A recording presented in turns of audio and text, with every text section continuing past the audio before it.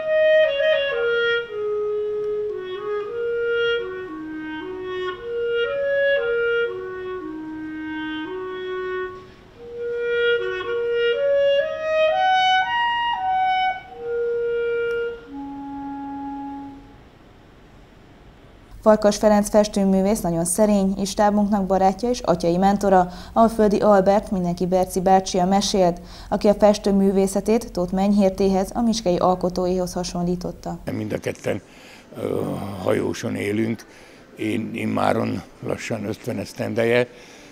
Igaz, hogy a Feri nádudvarról került oda, édesapja erdész volt, és akkor így kerültek ők hajósra. A Feri művészete valahol, valahol a Menyus bácsi mentalitását idézi, hiszen én emlékszem a vele való kapcsolatra, a Menyus bácsi való kapcsolatra, ahol, ahol tudom azt, hogy a meskelyek megmosolyogták azért, amit csinál. Tudom azt, hogy, hogy tulajdonképpen abban élt, hogy muzsikált, meg paprikát termesztett, stb.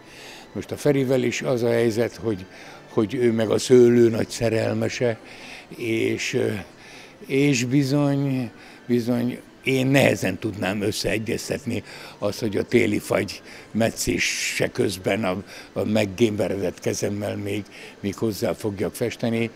Ö, azon kívül még nagyon nagy erény a, a Farkasferének az, hogy, hogy talán azért, mert egyedül élés azért az éjszakái öm, azzal is telnek, hogy ismeretekhez szerez, vagy ismereteket szerez. Ő rendkívül ö, művelt a művészet történet területén, ami azután a, a festészetében bizony visszaköszön. Tehát nem, nem tanulta ezt a mesterséget különféle felsőfokú intézetekben, hanem a lelkéből, a, a, a szívéből ered, és ezért olyan, amilyen, amilyen én nagyon-nagyon jó szívvel ajánlom mindenkinek a figyelmével. Milyen apropóból valósult meg most ez a mai kiállítás, és hogy jött ez a felkérés, hogy ön nyissa meg? Hát most az a helyzet, hogy, hogy az apropó nyilván a, a nyári, Kalocsai nyári Kékmadár Fesztivál, és a többi, és a többi, ami, ami miért bizonyos fokig irigylem a kalocsaiakat, hogy ilyen sok szép mindennel tudnak találkozni egy nyáron. És az, hogy én nyissam meg, hát ott élünk a másik városban, a szomszédban, igen jó kapcsolat a családdal, a, a, a vejemmel, a Matteo Massagrande nevű olasz festővel, akitől azért nagyon sokat tanult is a Feri.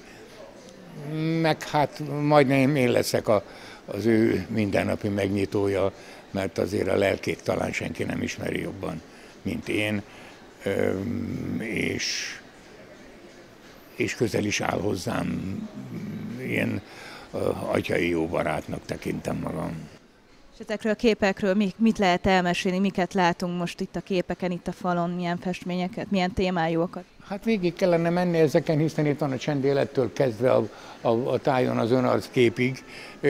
Mindegyik egy, egy önálló, önálló pillanat a, a Feri életéből.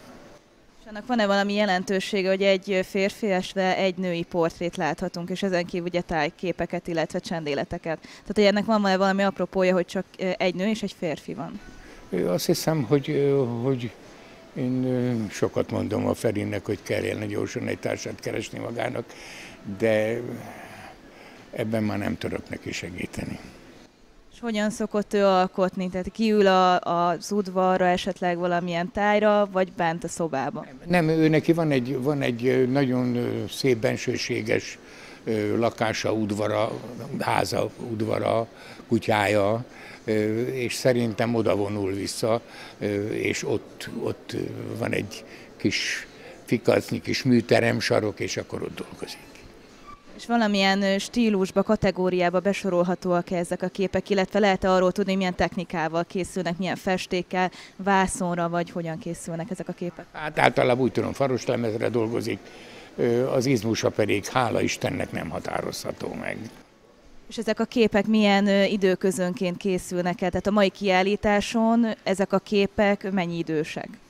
Szomorúan állapítom meg, hogy ezek nem a friss művek.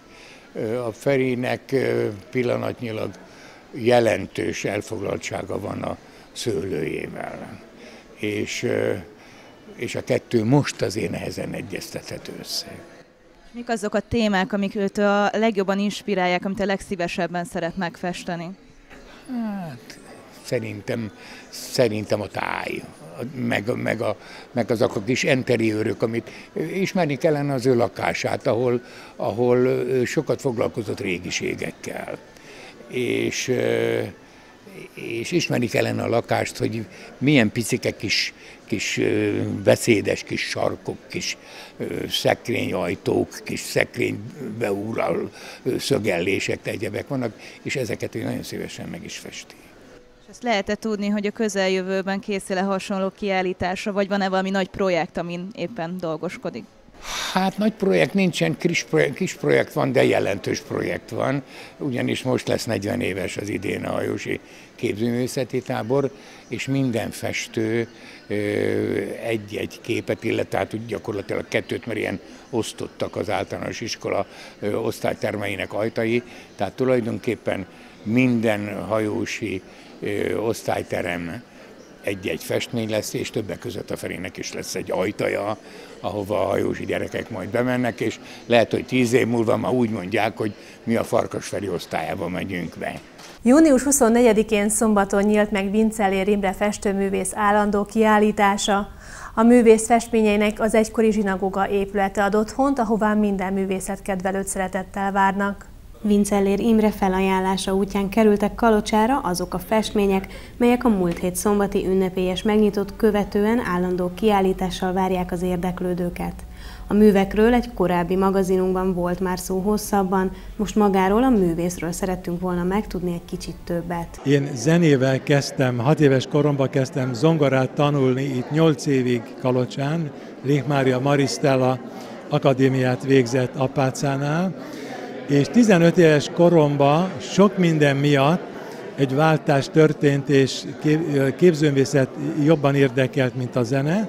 Másrészt habitusomban nem a színpad embere vagyok. Tehát én nagyon szeretek félrevonulni, akár a budai, akár a kalocsai műtermembe. Szeretem az erdőt, szeretem az embereket, de szeretem a csendet ennek megfelelően ebben a nagy belső csendben és ebben az introvertált állapotban a festészetben találtam önmagamra, de azok után, hogy gyerekkoromban én találkoztam Budapestről kitelepített Pakson élő nagybátyámmal, Kaszerik László festés szobrászművésszel, és ő nagyon nagy, nagy hatással volt rám, de ugyanúgy mondhatom Heves Iván művészettörténészt, aki a magyar modernizmus, az avantgárdnak egy egy nagy szószólója, művészetkritikus és művészettörténész volt, fotó- és filmesztéta. Na most ő itt Kalocsán a dédszüleimnél nyaralt a 20-as években, és el fogok mondani egy érdekes történetet, ami egy családtörténeti vonatkozású, hogy a világhírű Moholi nagy képzőművész verset írt a nagynénémhez, dr. Hevesi Margithoz. Moholi külföldre ment Berlinbe, majd Csikágóba, a nagynénémből pedig dr. Hevesi Margit Angelika nővér apáca tanár lett, és ő pedig Kalocsára került, és itt tanul, tanított magyar történelmet az egyháziskolába, és 44-ben még embereket is mentett. Tehát fájdalmasan, de szép történetek ezek. Szó esett ugye arról, hogy zenét is tanult, ami szintén egy ága a művészetnek, hogy a festészet is. Valamilyen hasonlóságot véle felfedezni, ha már művészetről beszélünk, a zene és a festészet között? Így van, a zene is alapvetően elvon nyelvezet, ezért van az, hogy a koncertképeim, amit főleg 80-ban kezdtem, amikor életem első külföldi kiállítása volt Melbourneben, a Holmar galériában, és aztán megtehettem, hogy átmentünk feleségemmel Sydneybe, és a Sydney Operaházban egy nagyszerű koncertet hallgattunk, az az építészeti környezet és az a mm, zenei hatás elindította bennem a Sydney koncert sorozatot. És meg kell mondanom, hogy ez már már Ausztráliába, Amerikába, Budapesten, egy nálam a budai műterembe, ami legutóbb 2004-ben a Párizsi Szalonon szerepelt a Carousel de Louvre-ba. Úgyhogy nagy utakat jártak be a képek is, én is, úgyhogy a zene mindig fontos, mert ugye bár zongoristaként kezdtem, a zene élvezete, tehát mint kívülálló, nagyon fontos szerepet tölt be az életembe. Tehát a műteremben reggeltől estig klasszikus zene szól, mert ez tartja bennem a lelket, és néha arra gondolok, hogy milyen jó lenne változtatni az embereken, hogy bízom abban, hogy Magyarországon is az emberek mentalitása marad, és hogy, hogy szükség van ma is a 21. században kulturált emberre. Nagyon fontos, hogy ne felszínes, ne a, a plegyka legyen a divat, hanem mi elmélyült tartalmak. Ez lehet emberi vonatkozású, humanisztikus tartalmak, lehet művészeti, építészeti, a népétől a polgárinát, akár az arisztokrácia kultúrájáig, tehát mindegyiket támogatom, mert gyerekkorom óta, tehát ugye itt kiállítjuk a bolonnadságákat, hát nem véletlenül ez a név, hiszen a 70-es években, még a képzőművészeti főiskola előtt a polgári kultúra nagyon érdekelt, és főleg azoknak a sorsa, akik a szocializmusban, hát vagy kitelepítés után voltak, vagy az ötszobás lakásból hirtelen egy szobába, még konyhája se volt a nagynénémnek a, a Karinti úton Budán, tehát szegénységben éltek, egy mesterséges szegénységben. Tehát ezek a emberi, mindennapjainkat érintő vonások, tartalmak, szituációk mindig izgattak, és nem csak az elvon dolgok, mert ha csak absztrahálom a dolgokat, akkor formailag adok színbe, vonalban valami érdekes kompozíciót, de ezek a háttér tartalmak, ezek nagyon hatnak az emberekre, és ezt én mindig visszahallom gyűjtőimtől, vagy ahol éppen a festményeim vannak Budapesten, Magyarországon, akár külföldön.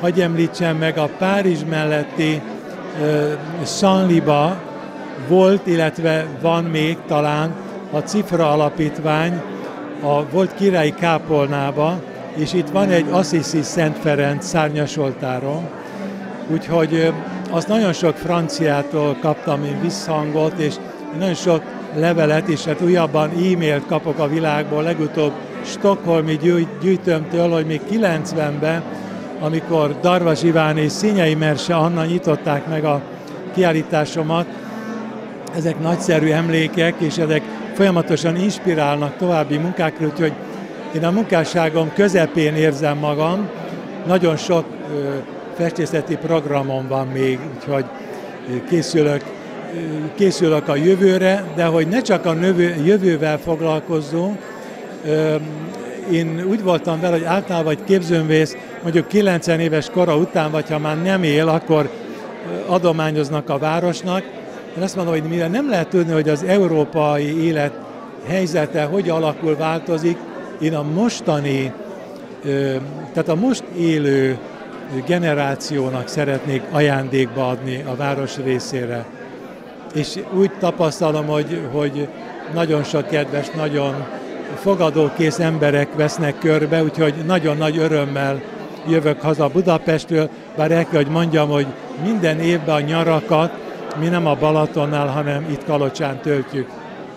Említésre került ugye az inspiráció. Van-e olyan lelki, egy jellemző lelki állapot, ami, ami kell önnek ahhoz, hogy el tudjon kezdeni festeni, vagy hogy fessen?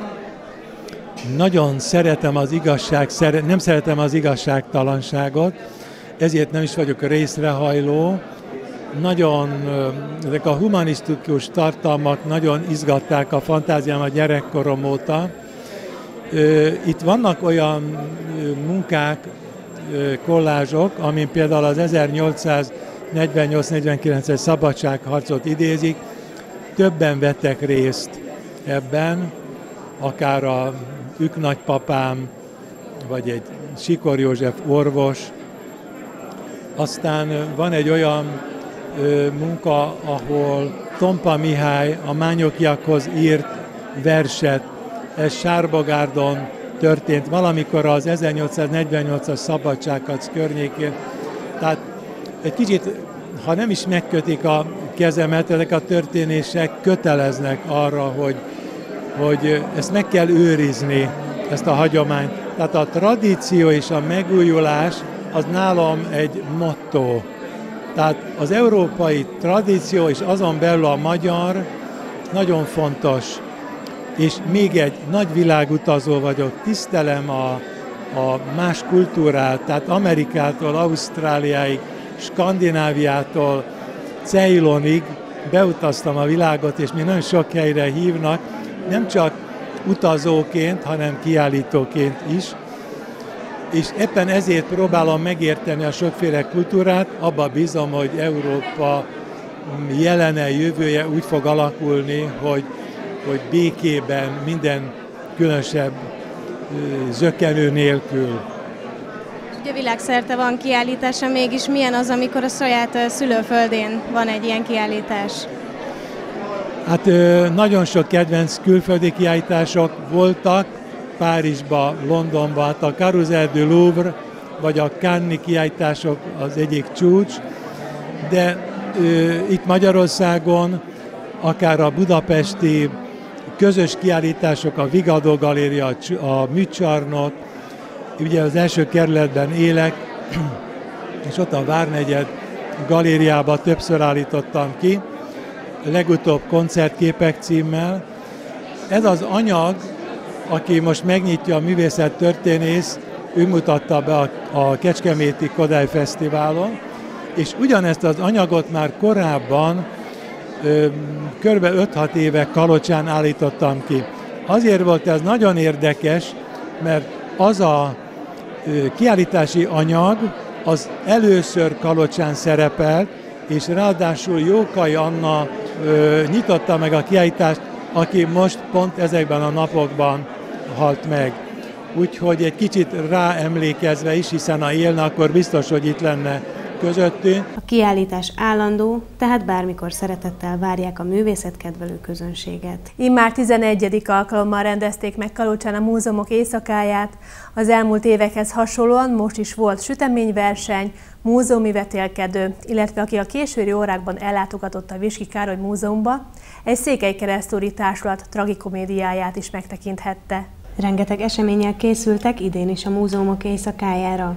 A programok este 7 órától kezdődtek, és az este folyamán nem csak több teremben, de több helyszínen is zajlott a rendezvény.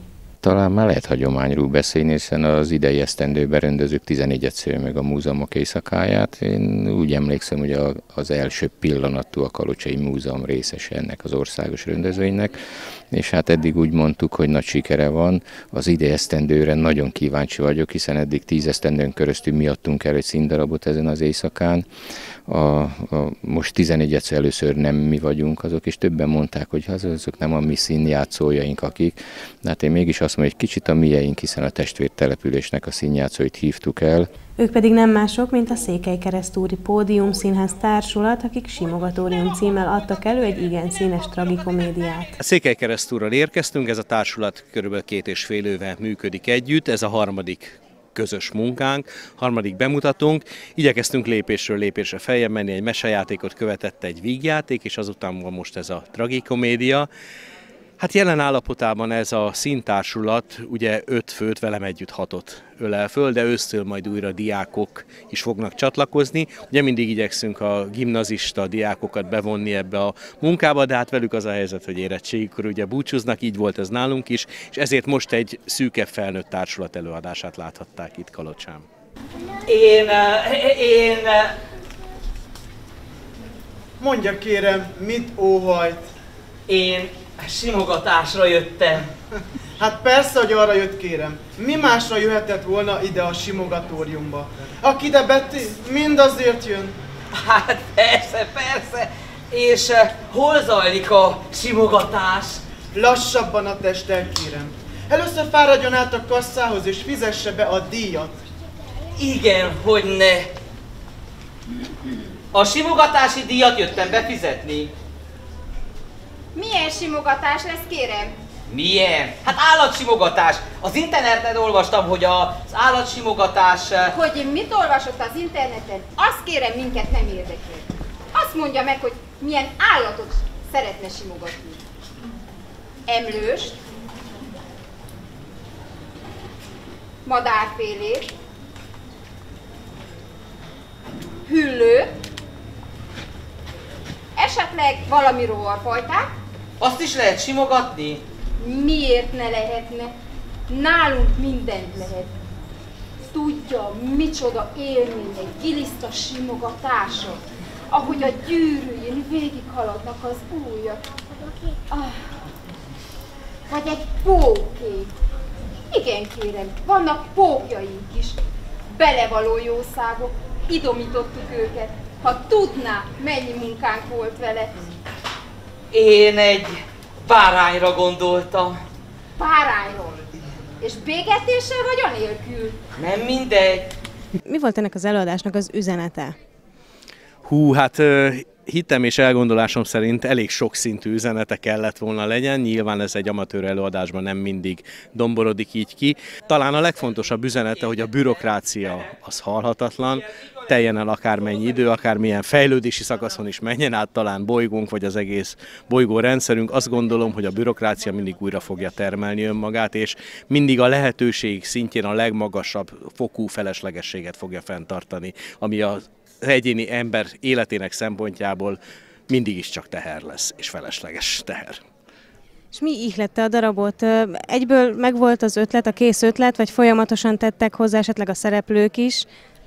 Igen, ez egy érdekes munkafolyamat volt ebből a szempontból, hiszen ez egy most íródott és keresztúri szerző által íródott darab, és valóban kapcsolatban voltunk vele. Eredetileg nem is a jövőben játszódott, nem volt az elején egy ilyen filmhíradó-szerűség, egy ilyen galaktikus világhíradó, ez egy jelenkori történet volt, de vele együtt gondolkodva egy kicsit ő is átírta ezt a történetet, és azért toltuk el egy olyan közeli jövőbe, mert a jelenkorunkról tudjuk, hogy hogy működik ez nem is annyira érdekes. Én azt gondolom, inkább érdekes azt felvetni, hogy, hogy vajon fog-e bármi változni, és ha változni fog, jó irányba fog-e változni, és erre próbáltunk egy kicsi reflexiót adni ezzel, hogy közösen a szerzővel eltoltuk például a jövőbe ezt az egész történetet. Amikor eljátszották először az előadást a próbán, utána még voltak változtatások? Igen, voltak természetesen ez egy másik oldal annak, hogy a szerzővel közösen kell dolgozni. Én elég bátran szoktam húzni az előadásomat, ilyenkor ezt nem nagyon lehet, mert ugye ott van a szerző. Voltak féloldalak, amiket kiszedtünk, mert úgy éreztük, hogy talán untatja a nézőt, talán túl sokszor hangzik el ugyanaz. Tehát közösen a szerzővel az utolsó pillanatig, az utolsó előtti napig kerültek ki belőle például szövegrészek, vagy íródtak át bizonyos szövegszakaszok. És visszatérve a társulatra, Székely Keresztúron milyen sikernek örvend? Szoktak-e rendszeresen fellépni? Hát igen, mint említettem, ez egy új társulat, tehát két bemutatónk, az két siker volt, de a hazai pálya mindig lejt. Tehát az, hogy otthon milyen sikert arat egy előadásunk, az, az, azt kell gondoljam, hogy szakmailag nem jelent semmit. Igazániból ezek azok a pillanatok, amikor elmegyünk, és olyan helyen játszunk, ahol senki se ismer minket. Ezek az igazi szintfelmérők. Még annyit szeretnék elmondani, és ez fontos lenne, hogy benne is maradjon, tehát még annyit szeretnék elmondani, hogy ez volt a, a bemutatója a darabnak. Tehát egy hosszú és nagyon nehéz próba folyamat után még nem volt igazán kész az előadás, ezt talán érezték a kedves nézők is, ezért kellett a súgón a nagyfokú támogatása, voltak benne megakadások, ritmuszavarok, de azért, mert most, most arra kezdett összeállni. Tehát ez volt az ősbemutató, ezt a darabot bárhol a világon, a színpadokon most mutatták be először, és mi is csak most értünk a próba folyamat végére, úgyhogy így utólag is elnézést kérünk a kalocsai nézőktől, hogyha, hogyha megzavarta őket esetleg egy-egy apró bizonytalanság. Az előadás mellett az idei évben is volt süteményverseny, most a túrós sütemények vetekedtek egymással. Ez is most már tizedik alkalom, az első nem volt, de utána elkezdtük a süteményeknek a bemutatását, amit szoktam hangsúlyozni, hogy ez egy, nem egy verseny. Mert nem az a, a, a cél, hogy, hogy versenyeztessünk háziasszonyokat, hiszen mindenkinek a saját főztje a legjobb, a saját édesanyája, a saját nagymamája a legjobb. Tehát éppen ezért nem is szakmai zsűrit szoktam hívni, hanem mindig valakiket a városban. Most éppen a vagyonhasznosító Kft. igazgató asszonyát kértem, két munkatársával érkezett meg, és itt a cél az, hogy ízlik nekem, vagy nem ízlik. Ugye nekem valami ízlik, másiknak nem ízlik, következőben éppen fordítva van. Ennek is ugye az a, a célja, ilyen hátsó szándékunk fogalmazzak így, hogy gyűjtsük össze a régi receptőket, persze az új receptőket is fogadjuk, hiszen a világ megy a maga útján, tehát szükségünk van az új receptökre is, de minden esetre múzeumként a régi receptnek persze jobban örülünk. Majd néhány esztendő múlva, amikor kifogyunk a sütemény fél akkor egy nagy könyvben majd a kalucsiaknak odaadjuk, hogy ezeket sütötték a régi öreg anyáink, és ezeket sütötték 5 éve, 10 éve ezelőtt a kalucsaiak. És miért tartja ön személy szerint fontosnak ezt a rendezvényt? Ugye a fiatalokat is nagyon nehéz kimozdítani. Számukra is hogyan készülnek? A fiataloknak nem biztos, hogy nagyon tudunk mi programot adni múzeumban, de ez nem biztos, hogy jó fogalmazok, mert egy sok fiatal megjelenik ezen az éjszakán. Tehát itt vannak olyanok, akik pici gyerekkora óta itt van, most is lefoglalták már délután a széköt, most már be ez egy fiatal, ez a leány, akiről beszélünk, hiszen 14. alkalommal megérkezik, tehát most már ő kamaszkorban van, sőt már lehet, hogy a kamaszkorból kifelé jár. Tehát azért a múzeumoknak csak van egy olyan ö, milliója, ami a fiatalokat is megfoghatja. Ez az este valahogy ö, másról szól, de inkább máshogy fogalmazok. A Kalucsai Múzeumnak nincsenek meg azok a terei, ami lehetővé tenne nekünk olyan programokat, hogy tényleg a fiatalokat is, kimondottan a fiatalokat is megszólítsuk. Tehát kénytelenek vagyunk arra hagyatkozni, hogy ezekbe programokban megpróbáljuk a fiatalságot is becsábítani. Azért hangsúlyozom, hogy azért néhányan vannak. Ahhoz, hogy ez más legyen, egyszerűen a múzeumnak bővülnie kellene terekbe, helyszínökbe, sok minden másba, hogy olyan módon tudjuk megszólítani ezt a fiatal generációt, ahogy az ő igényeiket is ki tudjuk szolgálni. Kedves nézőink, köszönöm, hogy velem tartottak. Kulturális magazinműsorunkkal legközelebb jövő héten jelentkezünk. Addig is vigyázzanak magukra, viszontlátásra!